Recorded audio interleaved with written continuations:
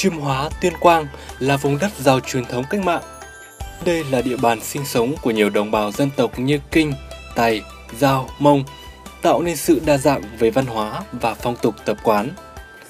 Nơi đây vang vọng một làn điệu cổ được truyền lại qua bao thế hệ của đồng bào Tày. Từ bao đời nay, then đã trở thành loại hình văn hóa sinh hoạt tâm linh. Then là loại hình nghệ thuật tổng hợp, bao gồm múa, hát, diễn sướng, mang giá trị về lịch sử văn hóa xã hội. Ở Chiêm Hóa, nhắc đến nghệ nhân Hà Thuấn, khắp thôn trên bàn dưới ai cũng biết. Ông là một người luôn đau đáu với văn hóa dân tộc, có ý thức gìn giữ và phát huy những giá trị đặc sắc của hát then. Ông mong muốn làn điệu quý của dân tộc sẽ được giữ mãi đến mai sau.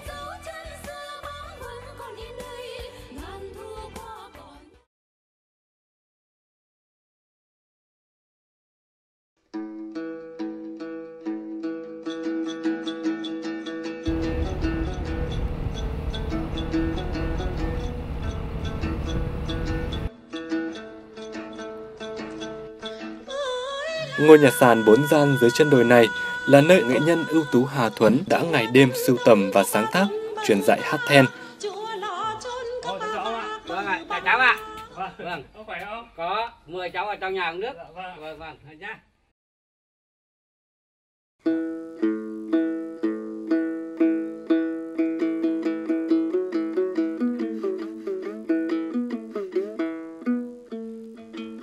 Về cái làn điệu hát then của dân tộc Tày ấy, nó không mới này đâu.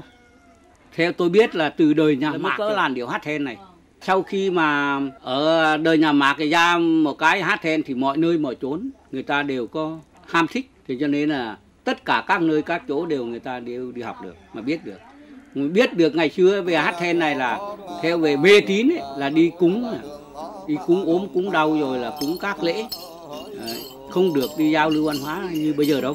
Trước đây ấy thì trong à, dòng tộc của tôi ấy là có hát then có thầy then. Thế cho nên là lúc nào các à, cụ các ông đi cúng ở đâu là tôi cũng phải đi theo đi để mà nghe mà xem mà mình học. Thì đến lúc 12 tuổi bản thân tôi 12 tuổi tôi đã biết đàn biết hát rồi. Mà ngày xưa không có nhạc đâu bây giờ khó lắm. Đi học theo các cụ là biết.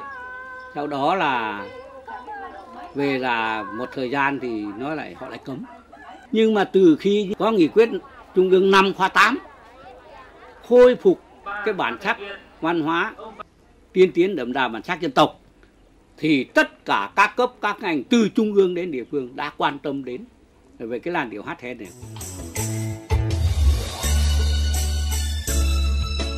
Đồng bào Tài Chiêm Hóa sinh sống chủ yếu ở vùng núi thấp, thu nhập chủ yếu từ hoạt động chăn nuôi gia súc, khai thác lâm sản. Từ bao đời nay, họ chăm lo sản xuất, bảo vệ mùa màng. Bên cạnh sự cần cù chịu khó trong lao động sản xuất, họ còn có đời sống tinh thần phong phú và nhân văn. Làn điệu then luôn đồng hành với họ mọi nơi mọi lúc và là một phần không thể thiếu trong cuộc sống hàng ngày. bóng bác xưa như vẫn còn đây tiếng ơi là cô em gái tây chưa tràn vang vọng rừng núi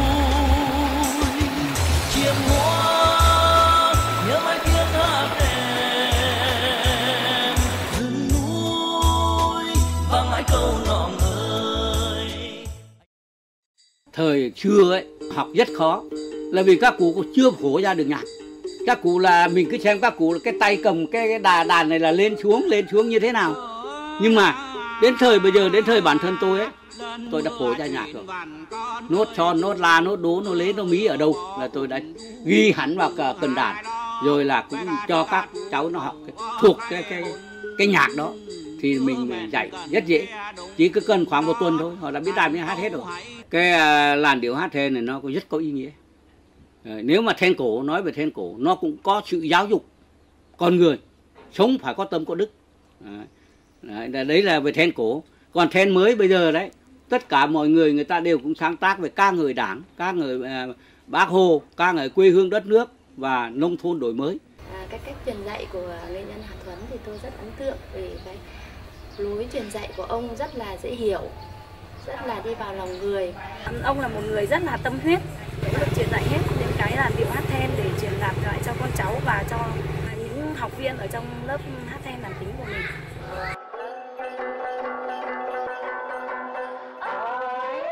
Câu lạc bộ hát then xã Tân An là nơi nghệ nhân ưu tú Hà Thuấn gắn bó từ những ngày đầu thành lập. Đây được coi là cái nôi của then tài Tuyên Quang.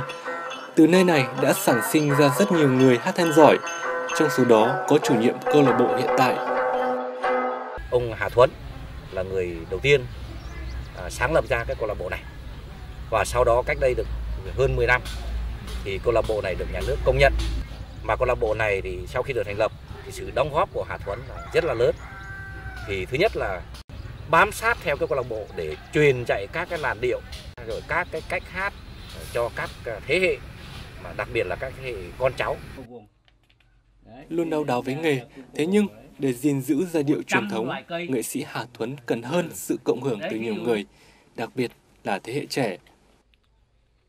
Bây giờ tôi thấy cảm thấy là về cái mai một đi. Mai một về cái tiếng nói.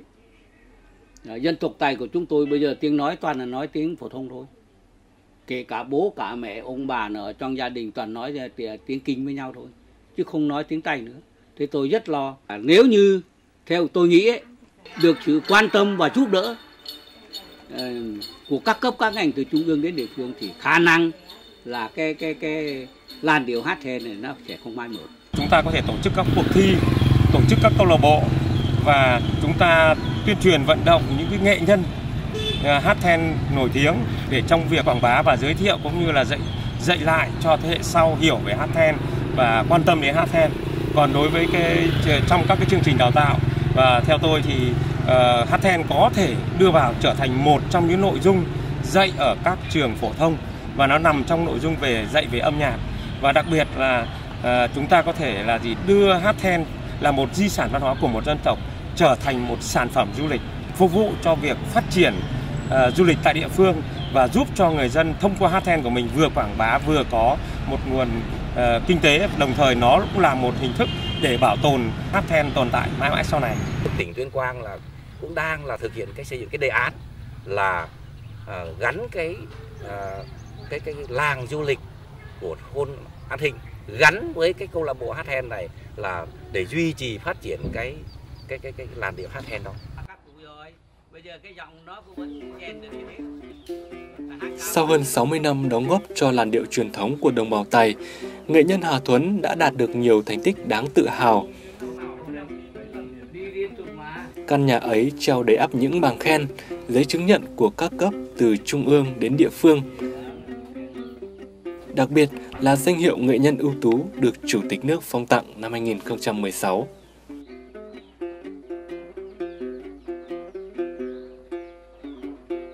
Mong muốn nhất của bản thân tôi là cố gắng từ lớp trẻ cho đến lớp trung trung phải cố gắng để giữ gìn cái bản sắc này.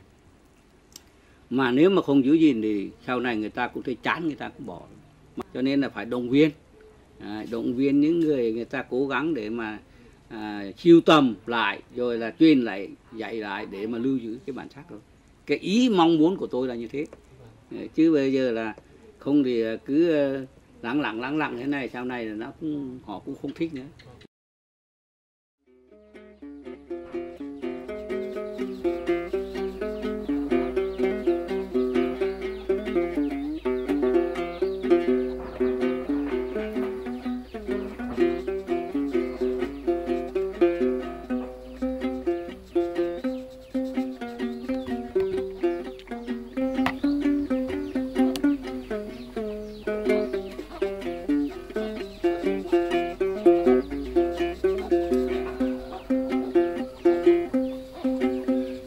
Có mấy lời khuyên nhắc nhở. Nhắc mọi người hãy nhớ chớ quên. Luật giao thông thường thuyền thực hiện, lên che mũ bảo hiểm đổi đi.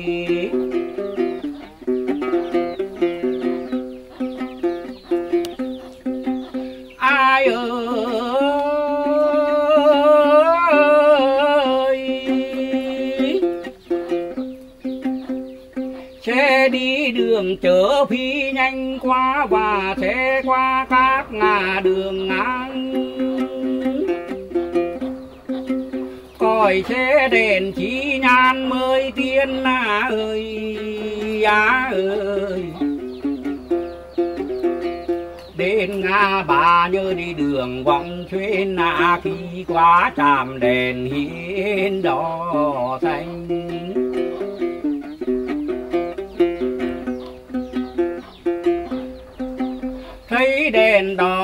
Ta dừng chờ đợi.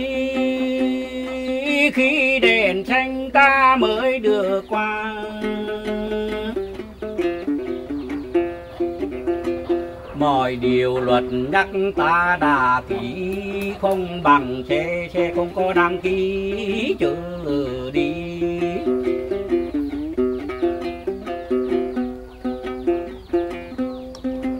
Hoặc ai uống nhiều bia nên nhớ chất nhiều bia vào chớ đi xe mọi điều luật cố ghi cho nhớ tránh, mọi điều chữ cố thầy ra. Kêu phải người hài ta ân hận, chim có mới lời dặn ai ơi. Luật giao thông mọi người trước nghĩa na ơi.